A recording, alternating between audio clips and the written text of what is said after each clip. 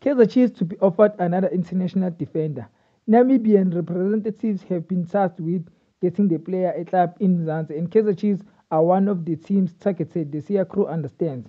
In recent weeks, Chiefs has been linked with several players after the club confirmed that it was still in the market for more for more signings for the new season. With the Soweto Giants expected to welcome Angolan defender Inacio Miguel as their latest recruit pending the finalization of his signing, the club could be offered yet another foreign defender in Amutenya who is also a centre back. Kenneth Amutenya is, is keen on a move to the PSL for the next chapter of his career. He is a defender who played for Gaborone United, which is one of the leading clubs in Botswana. He is currently a free agent, said the source.